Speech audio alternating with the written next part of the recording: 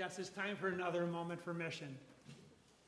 So, everyone here knows how we support Open Door with food, clothing, financial support, and prayers. So, please give a warm welcome to Open Doors Executive Director Michael Hennessey.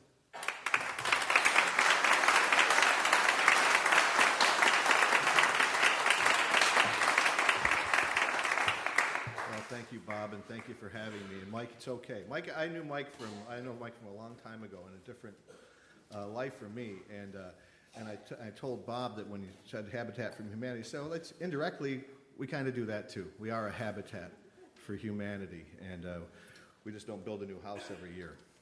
But uh, thank you for having me. I'm so blessed to have you. I'm so blessed to meet Bob, who uh, came down to see me and visit with us and uh, took the nickel tour. Um, I always tell folks if you want the dime tour, see Walter, our program director. If you want the nickel tour, see me. Um, but uh, uh, I'll, I'll, talk to you about those guys in a minute. But uh, I just want to uh, thank you for having me. I'm so blessed to be here. I love being in a house that understands outreach, and uh, especially outreach locally, because there's uh, we, the, a lot of ministries that understand missions and Blessed are the ones who realize that there's missions and outreach without a plane ticket involved. And uh, we have a place where you can do missions right here. And, uh, and if you don't believe me, taste and see. Come and see us, and we'll show you some, some uh, missions, uh, some mission fields, and some ripe mission fields.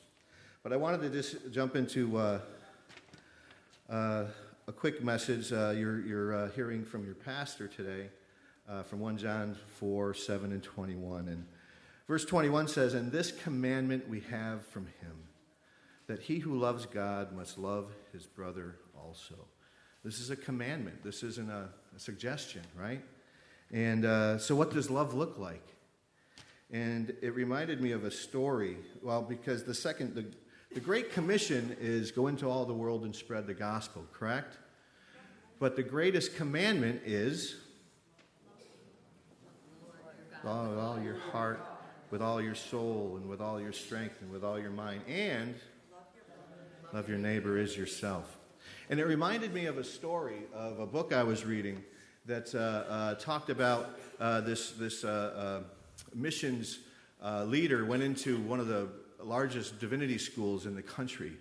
And he said, and he went in to speak to the seniors. They were just about to graduate. And he came in and said, Okay, what's the Great Commission? And oh, come on, this guy, give us something tougher, you know, go preach all the world with the gospel. And he said, Great, what's the, what's the greatest commandment?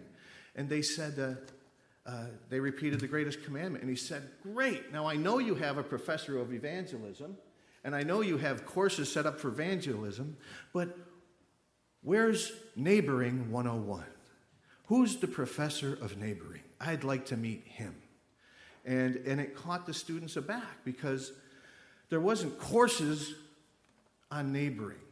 But, and yet, it's a commandment that uh, God takes very seriously. So it made me think what does neighboring look like? What does neighboring look like? Well, after uh, Luke 10 and 27, which you just repeated, says, Love your neighbor as yourself, do this and you shall live. Seems important. And but verse 29 says, Well, who is my neighbor? They asked. And Jesus spoke and told them the story of the Good Samaritan. You all know the story where the priest and the Levite went by the, the beaten and downtrodden uh, man on the side of the road. And the priest and the Levite, Levite went to the other side, those who you would expect you know, had the, had the spirituality and the piousness to understand the laws. And it was the Samaritan who were even enemies of the Israel people at the time. They were, they were uh, not held in high regard, but he helped him. He bandaged his wounds and he cared for him. He cared for him. And, and he brought him to an innkeeper. And uh, he said, and he paid his bill and he said, you know, if there's any other, anything else, let me know and I'll take care of it. And that to me is God's description of neighboring. That we love our brother. How? By caring for him. You know, it makes me realize that sometimes we get things out of order. and we need to evangelize, but how will someone receive us more readily? I would submit to you that's after we care for him.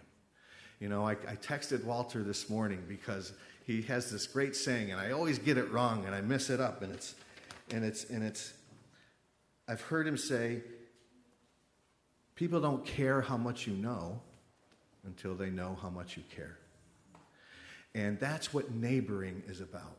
Neighboring is about first reaching out to your neighbor and showing him that you care. That's showing him love. And then, and then that individual will have a heart, a softer heart to receive from you. And I would submit that we don't get it out of order, that we first show that we care, and then we, we, we teach the great commandment, and we love our neighbor first, and then we perform the Great Commission.